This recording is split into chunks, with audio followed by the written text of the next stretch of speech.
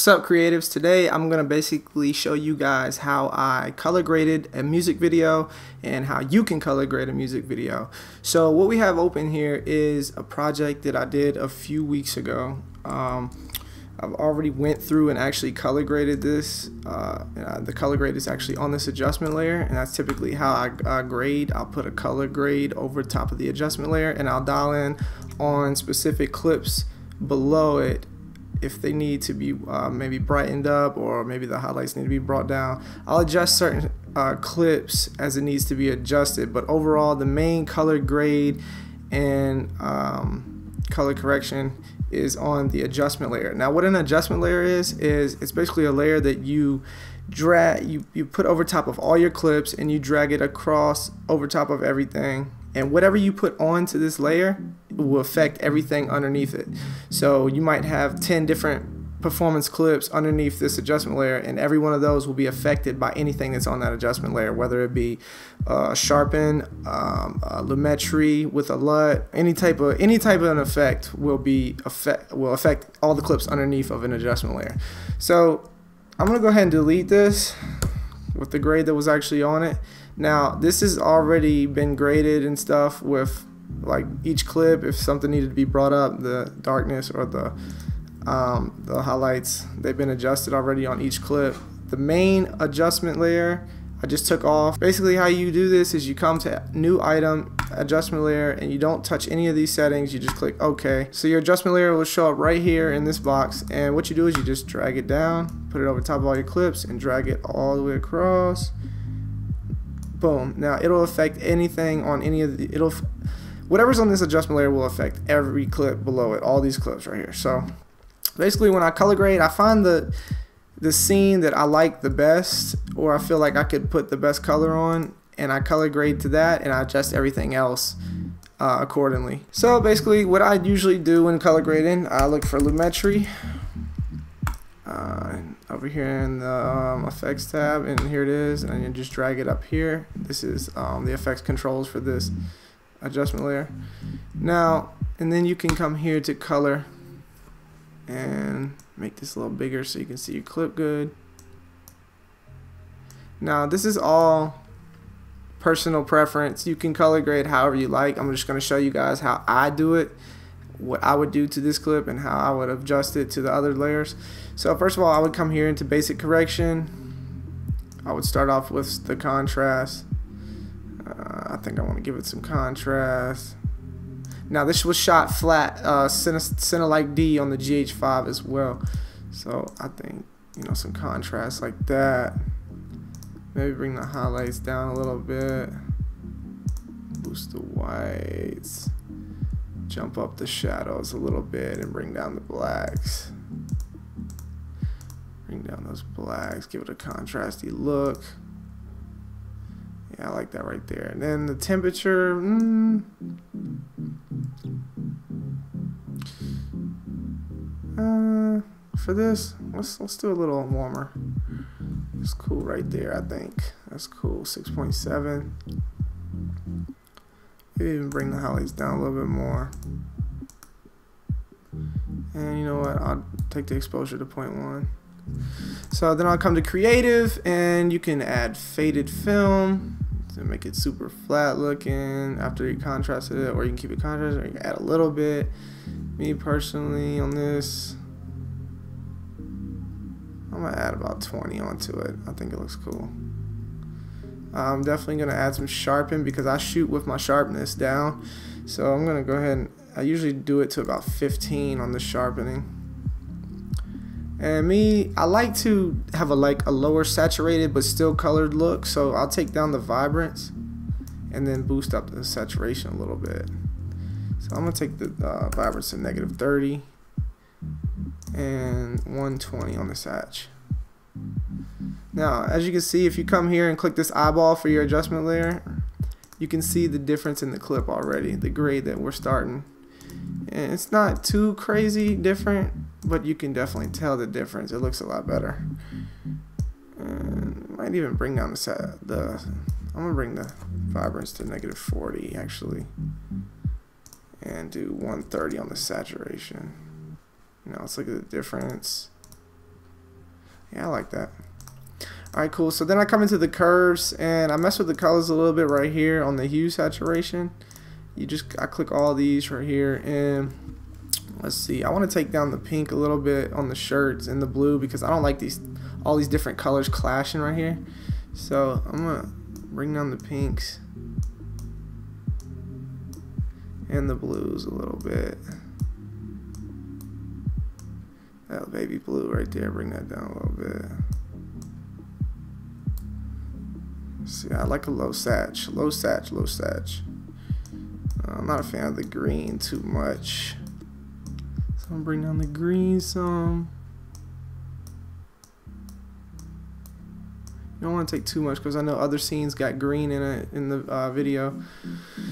So then we come to the color wheel and if we want to add like some color into the darks, the shadows, or maybe the midtones, I if I do midtones ever, I usually put, put it into the um, orange or red just because it makes anybody's skin tone pop a little bit. Everybody has like a reddish, orangish, pinkish tone. So um, I'll bring that up a little bit. But I'm gonna pop the midtones. Midtones are where the skin is. Um, I don't ever mess with the highlights. I like the highlights to be regular, natural white. I don't like the highlights to be making uh, turned into different colors and stuff. Sometimes in the shadows I'll add like some blues. So I'll add a little blue right there. And that's cool. And now here we have the HSL secondary. Now if I want to change a color a little bit or maybe take the saturation out of it a little bit, you can do that here uh, red, yellow, green, aqua, blue, uh, pinkish purple, and was this white? White? Yeah. All right, so with this, I'm gonna say let's do the green and make it a little yellowish. And I think we're good here. And in the vignette, you could even add a vignette a little bit just to kind of give it that feel. Negative one, you can put your feather up so it's soft. Usually about 70. Now this isn't required. You don't have to have this. This is just an extra feature. I'm to actually add it here just because I kind of like it. And I'm to come back to the basic correction. I want to actually add a little contrast. Let me put this highlights back up a little bit boost the whites. Now let's look at the difference. There's definitely a cool difference to it. Now I really like that actually. So I'm gonna come back here to editing. That's basically my grade. That's basically how I grade. So now that I have my grade, I'm gonna scroll through. Now it looks kind of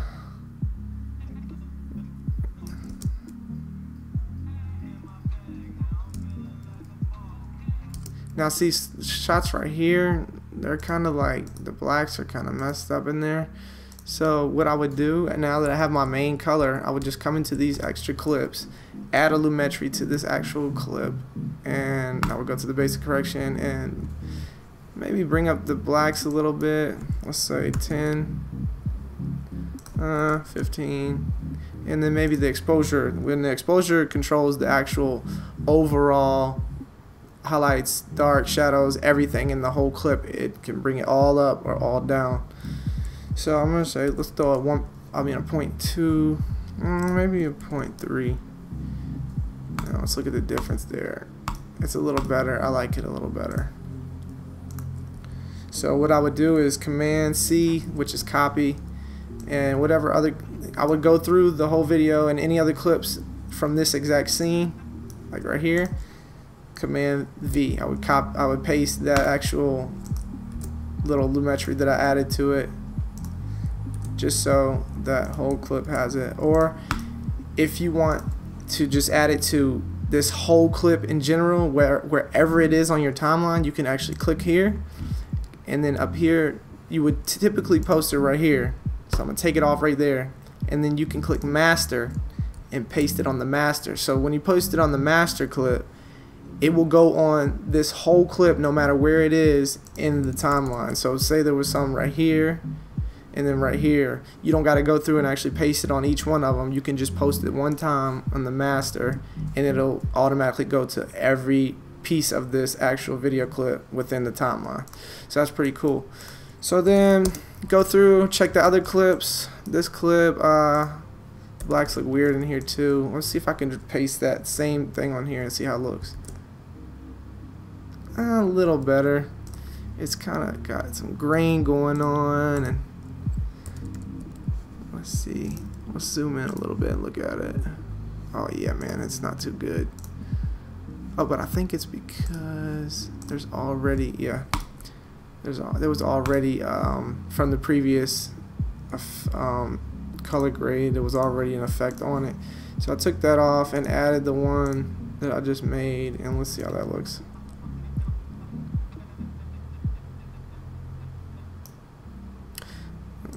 Boom. So eh, looks a little better. Let's see. Have some contrast, 20. I'll boost those, um, let's boost the shadows up a little bit. Let's say 15. Nah, that's not bad right there. That's better. See, it was too dark, too contrasted. The darks were way too messed up, so I kind of brought up the uh, contrast. I, I put some contrast on it, and I brought up the shadows and blacks. And the exposure, of course, was at 0.3 from the previous clip up here. So now that's good. And um, like I said, you would just copy that, delete it, and go to the master clip and paste it. Now it'll be on every part of this clip, wherever it is in the timeline. So let's say I'm done. Um, all the clips look good. I got my main color on the adjustment layer. I've adjusted all these clips um, accordingly to match. Now, what I have is a full color grade. So that's how I color grade. That's just a simple rundown. Um, you know, it all determines on what you shot, what music video you shot, where you shot it at, indoor, outdoor, sunny, cloudy day. It will range differently on every, you know, scenario. I'm gonna go ahead and give you guys this LUT that I created right here for free on the main uh, clip. So this actual LUT. I'm gonna give it to you guys for free. So make sure you check for that down in the description. If this helped you if you liked it like this video share for other people to see and subscribe to the channel for more color grading tutorials and music video effects tutorials and any type of tutorials dealing with music videos or video in general because I'll be bringing a lot more to the channel. Thanks guys. See you guys next time. Peace.